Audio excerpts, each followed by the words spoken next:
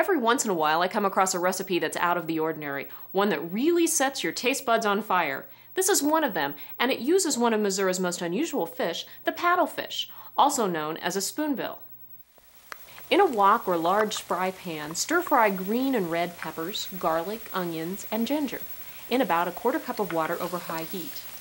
Add two pounds of fresh spoonbill cut into cubes, a can of stewed tomatoes, and lots of fresh parsley.